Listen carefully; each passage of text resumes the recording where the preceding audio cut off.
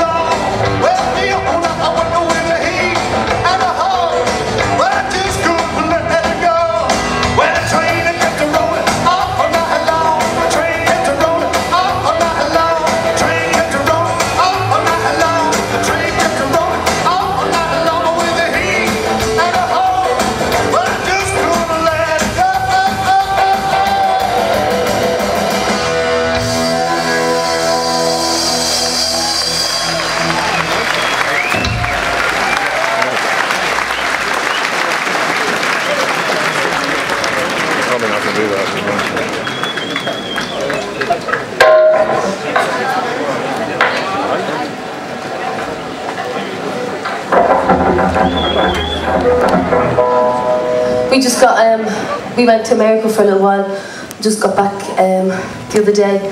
While we were there, we got to go to Chicago. don't know if I told you this, did I? We went to uh, Chess Recording Studios while we were there, and I know you're a big fan of all that. Willie Dixon and Howlin' Wolf and all that sort of stuff, so this one Howlin' Wolf did.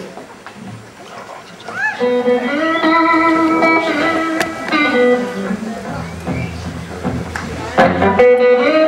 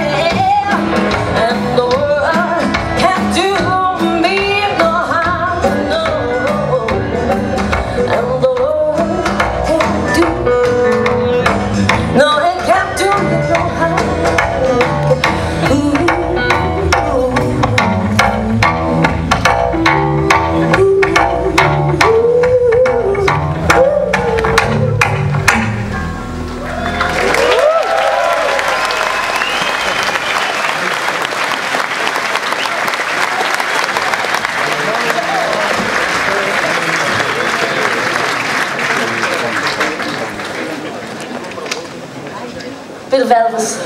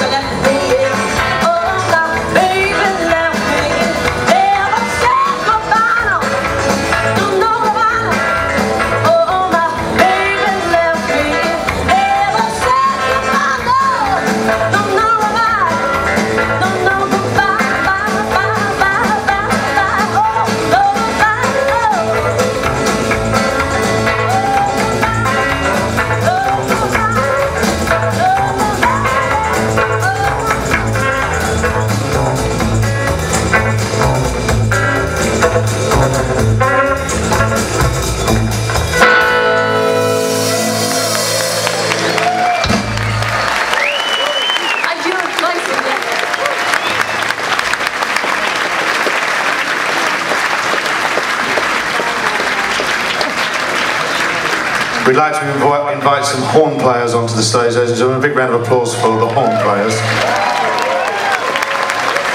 Nick Lunt, Leo Green and Dave Priseman.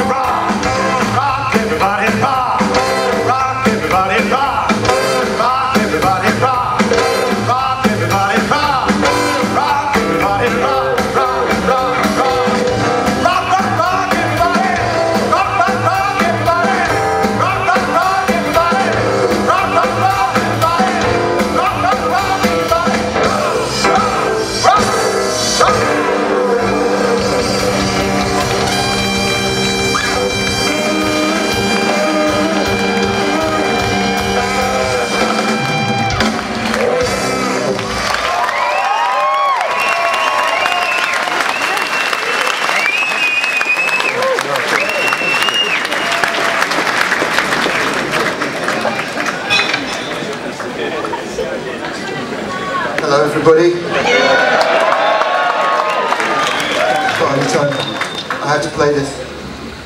It's a tribute to Hank Marvin uh, because uh, he was a great part of my life. Um, about 1959, 60, he came out with this, blew us all away, and everybody had to go out steal enough money to buy us Fender Strat. I didn't get away with it,